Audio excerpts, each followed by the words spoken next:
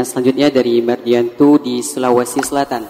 Assalamualaikum warahmatullahi wabarakatuh. Assalamualaikum warahmatullahi wabarakatuh. Buya, anak saya seorang mahasiswa baru. Dia lagi getol-getolnya ikut pengajian di kampusnya. Meski senang, saya juga khawatir dia terbawa aliran ekstrim. Apa yang harus saya lakukan agar anak saya tidak terjerumus, Buya? Apa ciri-ciri gerakan atau pengajian tersebut agar saya bisa menjelaskan ke anak saya, Buya?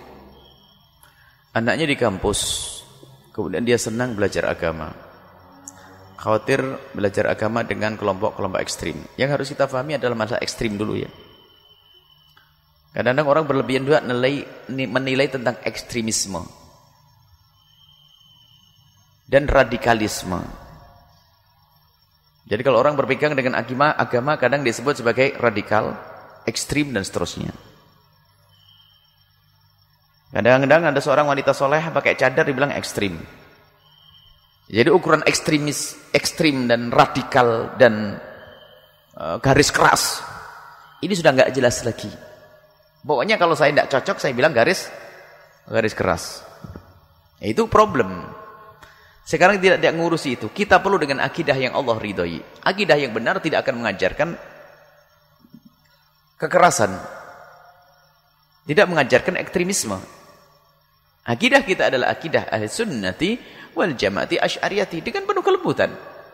Para ulama masuk ke Indonesia dengan kebaikan kelembutan. Maka yang perlu anda tekankan wahai para ibu yang solehah, bapak yang soleh tentang anak-anakmu, jangan anda izinkan anak anda belajar ilmu agama kecuali dengan kelompok akidah yang benar dong.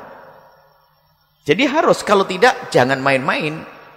Jangan buru-buru masuk. Sehingga dalam Syekh Zarjudi dalam kitab Ta'limu Ta'lim itu kalau engkau ingin belajar agama harus kamu ketahui dulu tentang akidah orang yang kau pelajari dan akhlak dan keadaannya. Jangan kalau sudah terlanjur masuk terpengaruh, namanya murid ikut akidah sesat ya ke bawah. Anda harus tahu dulu dong. Maka ajari anak Anda untuk selektif.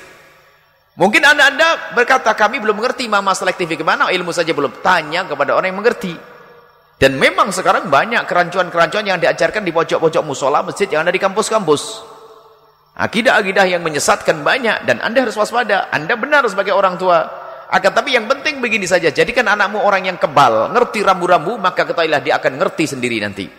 Jadi akidah ahli sunnah wal jamaati asy'ariyah dikenalkan dengan ulama-ulamanya. Suruh membaca petuah-petuahnya, kenalkan webnya ulama ahli sunnah wal jamaati asy'ariyati maka setelah itu secara otomatis Anda punya anak, oh kok beda ma? Tapi kalau Anda tidak pernah memberi pembekalan, tidak Anda arahkan di mana belajar, maka akan terjerumus dan tersesat. Maka ini adalah peringatan yang mengagetkan juga dari guru mulia waktu itu. Suatu ketika kami kan selalu menyampaikan, bertanya, apa akhir-akhir yang kau sampaikan kepada jamaah? Kami sampaikan kepada guru kami bahwasanya kami seru kepada orang tua agar tidak salah mendidik anak-anaknya. Pendidikan agama harus nomor satu. Jangan sampai hanya pendidikan dunia agama tidak. Nomor satu urusan agama. Sampai di sini waktu itu kami mengingatkan. Baik. Lalu guru itu berkata, kalau seandainya mereka sadar mendidik anaknya belajar agama, kemudian dia menghantarkan anaknya sekolah agama yang salah, bagaimana kamu?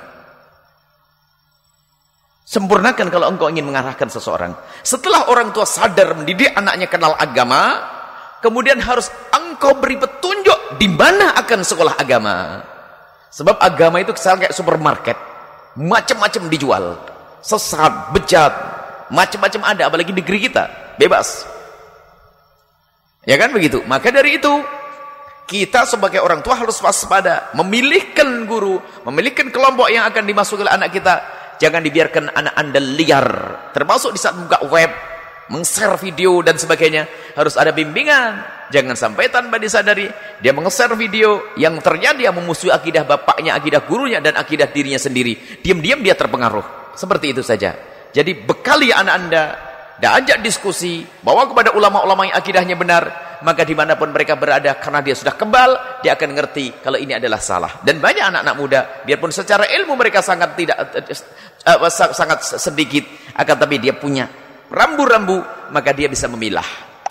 Jadilah jadikan anak Anda seperti itu wallahu a'lam bissawab.